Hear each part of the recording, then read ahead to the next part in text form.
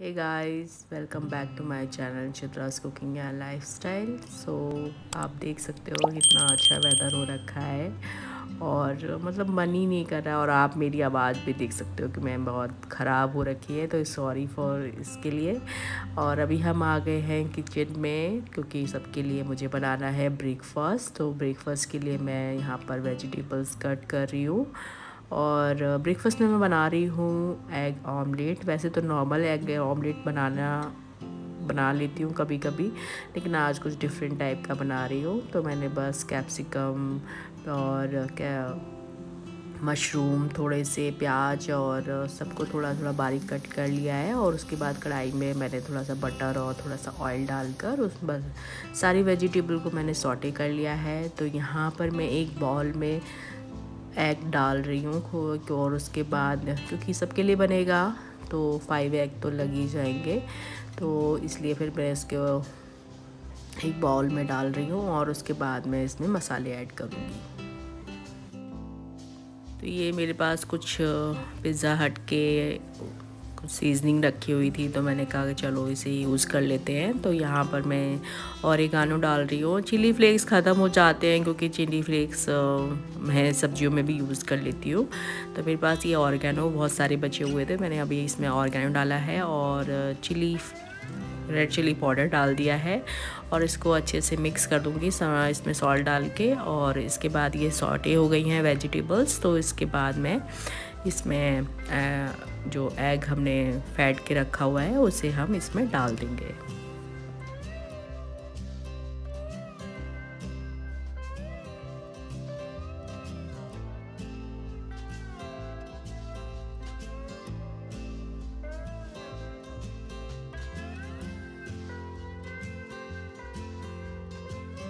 अब मैं इसे ढक्कन से कवर कर दूँगी और इसे स्लो मीडियम फ्लेम पर मुझे इसे पकाना है। तो इधर मैं एक साइड में ब्रेड भी सेक ले रही हूँ क्योंकि दोनों सा काम एक साथ हो जाएँगे तो एग भी, भी आमलेट भी ठंडा नहीं होगा और ब्रेड भी आपकी ठंडी नहीं होगी। इसलिए तो मैं साइड में ब्रेड भी सीख रही हूँ और इधर मेरा उधर आमलेट भी रेडी हो रहा है। तो एक तरफ़ ये पक गया है तो मैं इसे प्लेट को प्लेट से इस तरह से फ्लिप कर लूँगी और इसको वापस उसे कढ़ाई में डाल दूँगी। तो ये बहुत केयरफुल करना पड़ता है, नहीं तो आप जल भी सकते हो। तो इसे थोड़ा ध्यान से करना बहुत ज़रूरी है। तो मैंने अभी उसको वापस कढ़ाई में डाल दिया है और इसे दूसरी साइड से भी पकने के लिए रख दूँगी। तो यहाँ पर मेरी ब्रेड भी सीख गई हैं और आमलेट भी रेडी हो गया है। तो अब मैं सर्व कर दूँगी हस्बैंड के लिए एंड बच्चों के लिए। और मैं थोड़ी देर बाद अपना ब्रेकफास्ट करूँगी। तो इसलिए अभी मुझे ब्रेकफास्ट करने का बिल्कुल भी मन नहीं है। तो अभी बच्चों और हस्बैंड के लिए ब्रेक मैं अभी प्लेट में निकाल रही हूँ।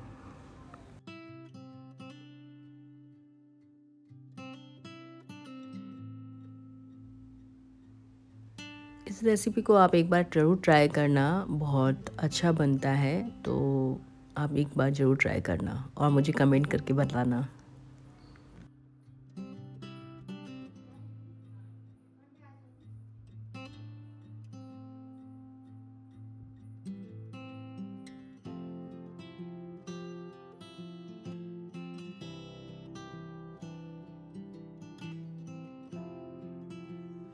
तो अभी मैं आ गई हूँ किचन में और किचन में मैंने सब्ज़ी के लिए तैयारी करना शुरू कर दिया है। तो कढ़ाई को गर्म कर दिया है। इधर मैंने ऑयल डाल दिया। ऑयल डालने के बाद उसमें थोड़ा सा जीरा डाला है। थोड़ा सा बारीक कटा हुआ प्याज, थोड़ा बारीक कटा हुआ लहसुन और इसे थोड़ा पिंक होने तक हम इसे भूनेंगे।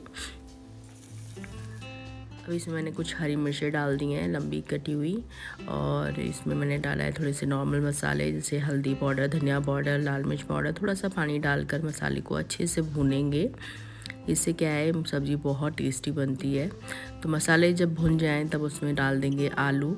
और आलू डालने के बाद इसमें अच्छे से इसे कोट करेंगे मसाले में और उसके बाद इसमें गोभी डाल देंगे। तो गोभी डाल के इसको मिक्स करेंगे और मिक्स करने के बाद इसमें थोड़ा सा पानी डालकर और इसे पकने के लिए रख देंगे। और हाँ सॉल्ट डालना मत भूलिएगा तो मैं सॉल्ट अभी डाल रही हूँ। इसके बाद मैं इसमें थोड़ा सा वाटर डालकर और इसे ढककर पकने के लिए रख दूँगी। इधर मैं करूँगी रायता बनाने की तैयारी तो मैंने कर्ड लिया है, उसमें डाला है थोड़ा सा सॉल्ट और सॉल्ट डालने के बाद इसमें थोड़ा सा लाल मिर्च का पाउडर डाला है। इसके बाद इसमें थोड़ा सा काला नमक डालेंगे और उसको अच्छे से विस्कर की सहायता से इसे विस्क कर लेंगे और उसके बाद इसमें डाल देंगे बूंदी।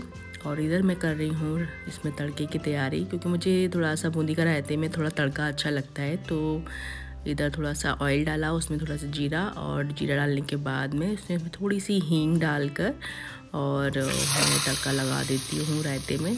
और एक बार ट्राई करिएगा, ये रायता बहुत टेस्टी लगता है इस तरह से बनाने में।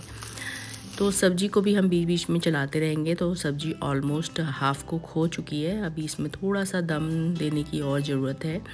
तो अभी मैं इसको और थोड़ा सा पाँच दस मिनट के लिए पकने दूँगी। तो यहाँ पर मेरी सब्ज़ी थोड़ी सी बिल्कुल रेडी हो चुकी है तो इसमें मैंने थोड़ा सा हरा धनिया डाल दिया है। हरा धनिया के डालने के बाद में इसको अच्छे से मिक्स करेंगे और अच्छे से चटका लेंगे। जब तक सब्ज़ी में चटक नहीं आएगी ना, तब तक सब्ज़ी अच्छी नहीं बनती। तो सब्ज़ी भी रेडी हो गई, इधर मैं कर रही हूँ पूड़ियों की तैयारी तो कढ़ाई मैंने रख दी है, इधर मैंने पूड़ियाँ सेक ली हैं। तो अभी मैं पूड़ियाँ जो बना रही हूँ, वो हस्बैंड के टिफ़िन के लिए बना रही हूँ, उसके बाद में बच्चों के लिए और अपने लिए बाद में सीखूँगी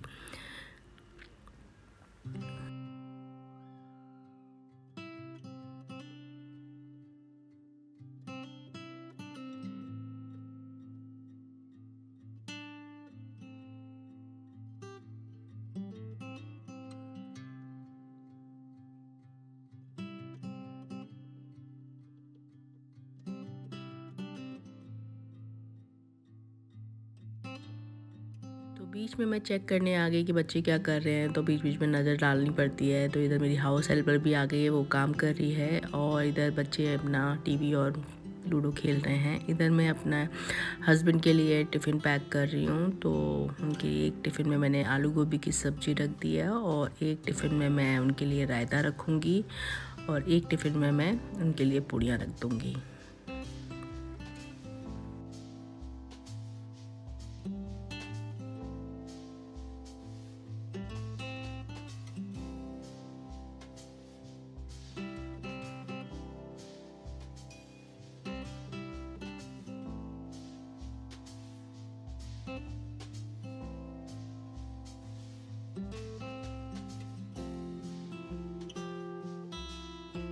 तो उनका टिफ़िन भी लग चुका है और मैंने उनको टिफ़िन दे दिया है, वो ऑफ़िस चले गए। उसके बाद मैं करूँगी बच्चों के लिए खाने की तैयारी। तो अभी मैंने बच्चों की प्लेट लगा दी है।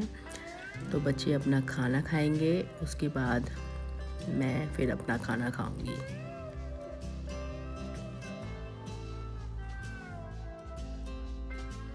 तो शाम के पाँच बज चुके हैं, मैंने चाय चढ़ा दी। सारे काम मैंने कर लिए हैं और बच्चे एक अंदर बैठा हुआ है, दूध पी रहा है और एक गया है अभी क्रिकेट की क्लास के लिए।